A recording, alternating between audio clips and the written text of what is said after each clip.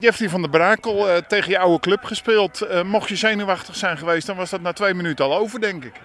Ja, natuurlijk is het altijd uh, apart zeg maar, om nou, zeker dan tegen Real te, te voetballen. Ik heb er best wel lang gespeeld, dus ja, in het begin dan is het altijd van, ja, wel een beetje, beetje gezonde spanning, zeg maar. Dus ja, ja hij vloog, er vroeg in inderdaad. Dus ja, stonden we snel op 1-0 voorsprong. Snel 1-0, daarna ook vrij snel de 2-0 door jou. Uh, beschrijf het doelpunt eens. Ehm, ja, de 1-0 dat was eigenlijk een, een, bal van de, van de rechterkant en die, die werd eigenlijk strak voorgegeven. En ik stond eigenlijk een beetje bij de tweede paal. Ik denk, ja, als hij daar komt, dan is hij voor mij. En uh, hij, hij stuitte erdoor langs iedereen en uh, ja, toen kon ik hem eigenlijk gewoon intikken. Ja, ik, uh, ik, ik dribbelde zeg maar het middenveld op en ja, Tom kwam, kwam links erbij. Die zei, wacht even, wacht even. Dus ik hield de bal even vast en ik gaf hem mij. Ja, hij kapte en hij schoot. Hij kwam op de paal. En uh, de verdediger die liep mee. Alleen hij stuitte de naaste verdediger terug. En ja, ik liep eigenlijk gewoon door natuurlijk in de, voor de rebound.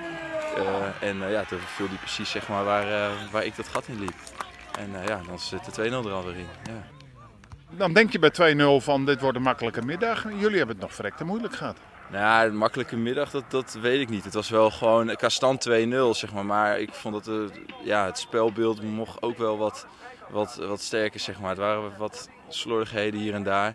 Uh, maar ja, als je dan die 2-0 voor staat, dan moet je dan gewoon doorpakken. En dan zou het een makkelijke middag kunnen worden. Maar ja, als je dat zelf niet doet en zelf gewoon uh, ja, een beetje zwak de duels in gaat, dan laat je hun uh, voetballen en dan scoren ze. Ja, dan, dan hou je ze zeg maar in leven.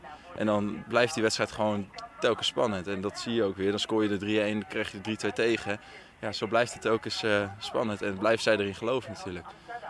Want bij die 3-2 mogen jullie gewoon van geluk spreken dat het geen 3-3 wordt. Ja, ze hadden wel uh, aardig geschoten zeg maar, op goal. En dat de keeper hem nog goed eruit haalde. Dat was wel even, even billen knijpen. Ja, en dan gelukkig uh, scoor je nog 4-2 en dan win je hem. Dus ja. Terecht? Ja, ik denk over de wedstrijd zeg maar wel, uh, wel terecht. Zeker. Eventjes helemaal terug. Waarom speel jij nu bij Swift? Ja, nou goed. Ja, we, we, speelden toen zeg maar in de, in vorig jaar in de vierde klasse zeg maar, met Real. En uiteindelijk zijn we natuurlijk gepromoveerd. Um, maar ja, halverwege was het een beetje van ja, wie gaat door, die stopt, die stopt. En ja, toen, toen werd ik zeg maar ook uh, op dat moment gevraagd uh, bij Swift. Daar ging ik er steeds meer over nadenken. En uh, ja, de, de passie zeg maar, die zij allemaal erin gooien, een echt team zijn, zeg maar. ja, dat, dat trok mij wel. En daarom heb ik eigenlijk die keuze gemaakt. En puur omdat ik dan een beetje bekeek zeg maar, van wat blijft hier achter. Ja, dat ik dan die keuze gemaakt heb om daarheen te gaan. Bevalt het? Ja, het bevalt zeker. Ja.